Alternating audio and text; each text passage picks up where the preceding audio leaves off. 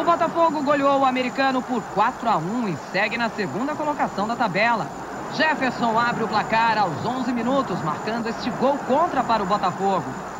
O americano empata na sequência. Luciano Viana aproveita bem o lançamento do goleiro Charles. Ganha na corrida de Reginaldo para bater a meia altura na saída do goleiro Paulo Sérgio.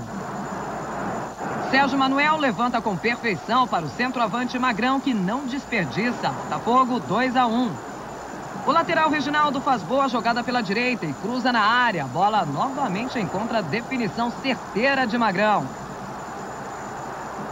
Aos 40 minutos, o Botafogo fecha o placar com este pênalti cobrado por Sérgio Manuel. Final em Campos, Botafogo 4, Americano 1.